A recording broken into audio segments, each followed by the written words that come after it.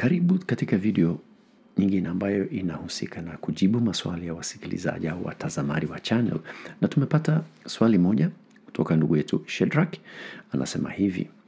Je, Yesu ni Mungu na tunapaswa kumwomba nani? Yesu au Jehova? Uh, kwa kuweza kuelewa hapo tunahitaji kuangalia wazo la utatu ambayo ni fundisho moja msingi sana katika Ukristo na nitai nitaielezea kwa uwepesi. Eh, lakini nadhani utaweza kuipata na kuielewa vizuri. Ukristo unaamini Mungu wa utatu.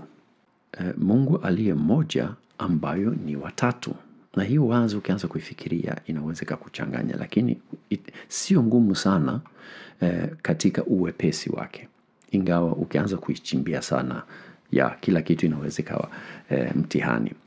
Na tunasema kwamba tunamwamini Mungu Baba tunamwamini Mungu Mwana, tunamwamini Mungu Roho Mtakatifu, na hao wako katika moja. Lakini ukianza kufikiria, na hii ni hoja ambayo mara nyingi e, inaletwa na wanaompinga e, wanaopinga utatu, atasema ukichukua moja ukaongeza moja alafu unaongeza moja nyingine unapata moja kweli, haiendani na mahesabu. E, hiyo ni kwa sababu huelewi jinsi inavyokwenda, lakini itajaribu kuionyesha hiyo kwa njia nyepesi ambayo kiasi kwamba nadhani utasema kwamba eh, hapo imekuwa nyepesi sana, imekuwa kama Sunday school. Uh, lakini umoja huo tunaikuta katika wazo, katika tendo, katika kule kutaka, katika kila jambo inawa, ambayo inawahusisha hao watatu. Okay? Hao watatu. Kwa hiyo mmoja wao anapotenda, anapowaza au anapopenda kitu, wote watatu wanapenda, wote watatu wanatenda, wanashirikiana. Kwa hiyo hakuna upinzani. Sisi katika maisha yetu, hata kama tuna rafiki mmoja wa karibu sana, bado kuna wakati ambayo hatutakubaliana. Hiyo katika utatu haipo, wanakubaliana. Kwa hiyo kila kitu wanaungana kwa pamoja, wanakubaliana kwa pamoja, wanatenda kwa pamoja. Kila kitu. Kwa hiyo hakuna hata mmoja kati yao ambaye angefanya kivyake bila wote kuwa katika makubaliano, katika umoja kamili. Kuna wakati tunapata maelezo ambayo inaonyesha kama vile kuwabagua, lakini hiyo mara nyingi ni kama vile unawapa vyeo mbalimbali au unawapa nafasi mbalimbali katika kule kufanya zile kazi zao au jinsi wanavyotenda. Na tunajaribu kufanya hivyo eh, kwa kuonyesha kwamba ni kama vile eh, Mungu Baba ana nafasi hii, Mungu Mwana nafasi hii na Mungu Roho Mtakatifu ana nafasi hii.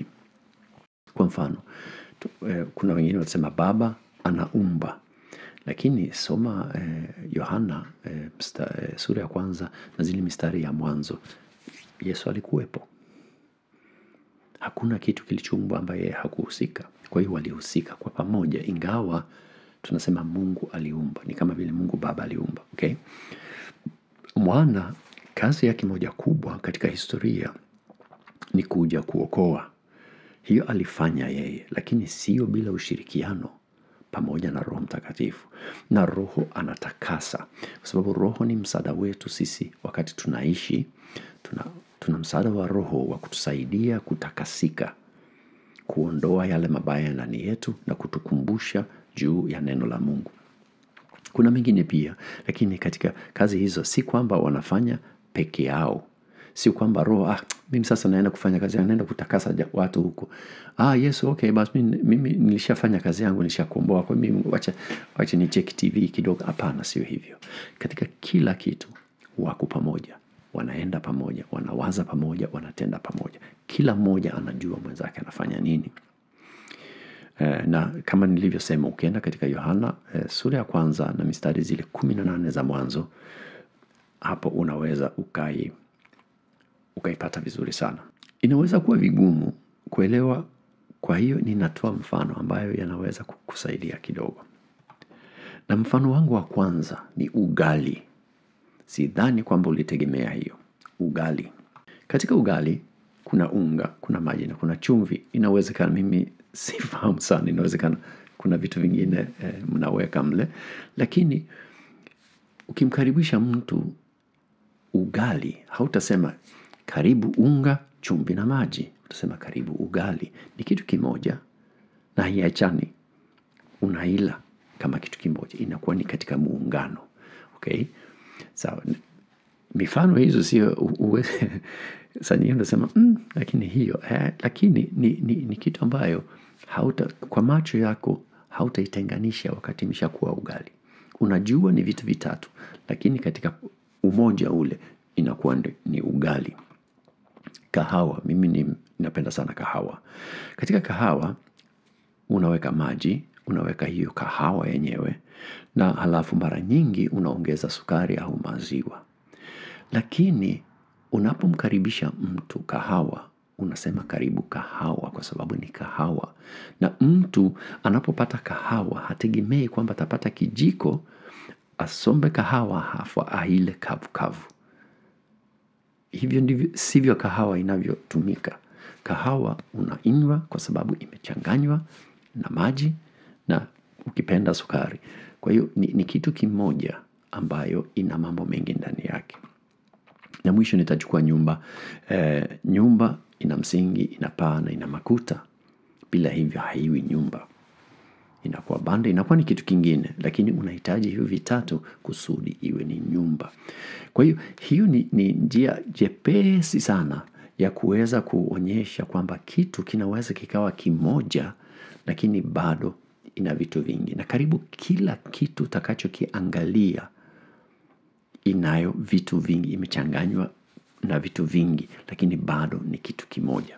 Katika Biblia tunakuta wazo ya utatu katika Agano la Kale, Isaya tisa eh, mstari wa sita, maana kwa ajili yetu e, mtoto amezaliwa, tumepewa mtoto wa kiume na uweza wa kifalme utakuwa begani mwake, naye ataitwa jina lake mshauri wa ajabu, Mungu mwenye nguvu, Baba wa milele, mfalme wa amani.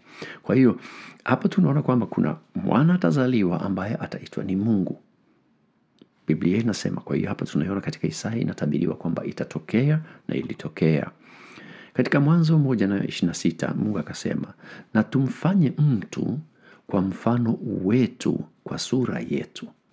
Hapa anaongea ndani ya utatu, anasema tumfanye mtu kwa mfano wetu, kwa maana ya kwamba hayuko katika singular, yuko katika plural, katika wingi.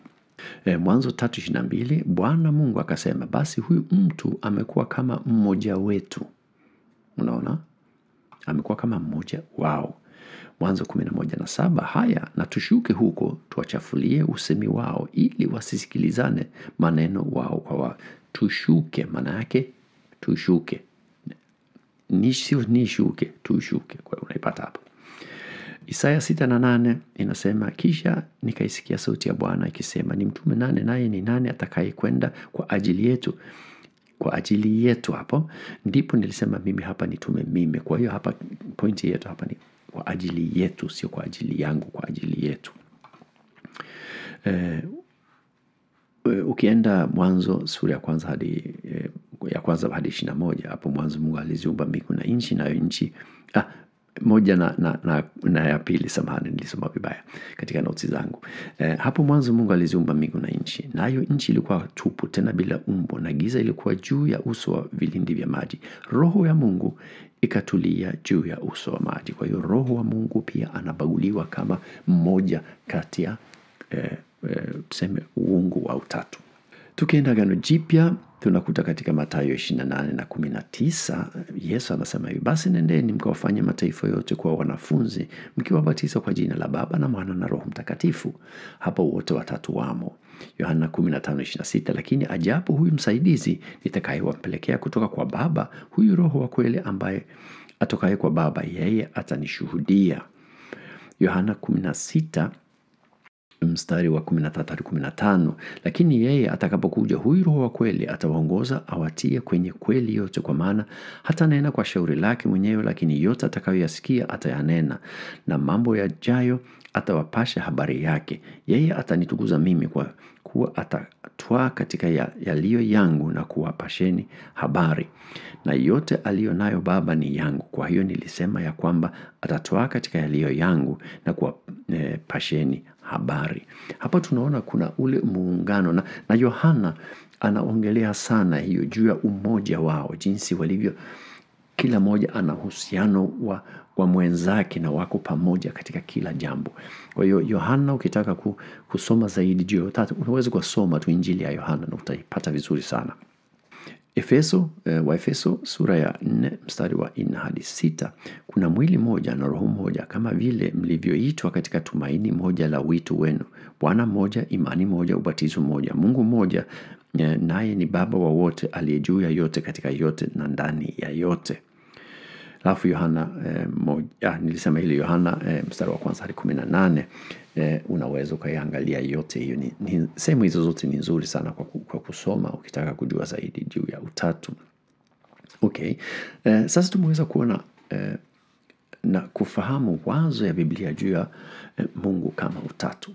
Ni- nimefanya eh, simple sana lakini hapo sasa tu- tumeweza kuipata kwamba mungu sio yehova peke yake sio yesu peke yake. Wao wako katika umoja ambao hauna mgao katika mawazo katika kila kitu wanaoifanya kwa hiyo sasa turudie kwenye ile swali tujikumbushe. Je je yesu ni mungu? Ndiyo ni mungu. Na tunapaswa kumwomba nani? Yesu au jehova wote Uki, ukimwomba yesu umemwomba jehova. Ukimwomba jehova umemwomba yesu. Maana ni mmoja. Okay? Kwa hiyo tukirudi katika swali iliyotolewa unapomwomba una, unaelekeza mambo yako kwa mungu. Sawa? Ukimtaja yesu ukisema roho ukisema baba ukisema jehova ukisema jahwe mungu ana majina mengi. Unaweza ukachagua jina lolote lile utakalolipenda unaweza ukafanya. Yesu anasema omba kwa jina langu. Kwa hiyo ni vizuri kufanya hivyo. Eh, lakini nadhani hapo pia ni, ni sababu moja ni kwamba kwa fikra za wafuasi wake ilikuwa ni moja mpya. Kwa hiyo yeye ilibidi awambie hata kwa jina langu unaweza ukaomba moja kwa moja. Lakini wote wote ni sawa. Eh, kwa hiyo ukimwomba mwana au yesu baba au roho haina tofauti. Wote watakusikia wote watakusikia. Mimi ninapoomba kuna wakati ninaweza nika nikaelekeza maombi yangu kwa roho kufuatana na zile kazi ambayo tuseme ni, ni kama maeneo yake. Unaona? Hiyo ina, inatokea. Eh, sasa nina- nina- ninakumbuka jinsi mimi ninavyoomba. Eh, ninamwelekeza mara nyingi mungu baba kwa kushukuru kwa ukuu wake mara nyingi ni hivyo. Na yesu mara nyingi nita- nitamshukuru kwa sababu alinikomboa. Lakini sio kwamba nikisema yesu asante sana kwa kunikomboa. Mungu anajisikia vibaya kwa sababu sikumwamkia yeye. Hapana. Ni wote kwa pamoja.